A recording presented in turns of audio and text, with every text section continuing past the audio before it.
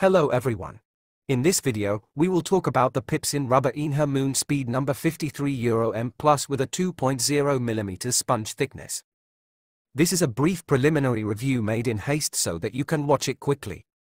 The full review will be released shortly. I need to gather my thoughts, analyze my impressions, and describe this rubber as accurately as possible, so that you, our dear viewers, can understand and choose correctly whether this rubber will be suitable and who should not choose it. I want to say right away that this moon speed turned out to be incompatible with my playing style and technique. On the one hand, the rubber turned out to be excellent. On the other hand, unfortunately, I cannot fully demonstrate its capabilities to you. Because I am a player with a combination style using long pimples. I cannot make many topspins, run back and forth quickly, and attack. It turned out that this moon speed is specifically for that. Moreover, in my opinion, this rubber is intended for players who not only like an attacking style of play with topspins, but specifically a forceful, powerful attacking style. That is, if you like to attack powerfully as often as possible, then this rubber is specifically for you. I am unable to demonstrate its power and cannot illustrate a series of powerful attacks. I cannot do that. But the potential in this rubber is felt, it is very powerful.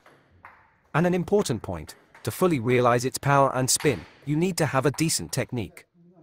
That is, this rubber is for players who already have at least a good technique and a level of play not lower than intermediate amateur. The fact that I hit the table well in the video does not mean that I can handle this rubber. In fact, there were a huge number of shots off the table and plenty of swearing behind the scenes. I have tried many rubbers and learned to adapt quickly to any rubber, regardless of its type and properties. But with this moon speed, it was especially difficult for me. I was irritated and swore, I wanted to take off the rubber and throw it away.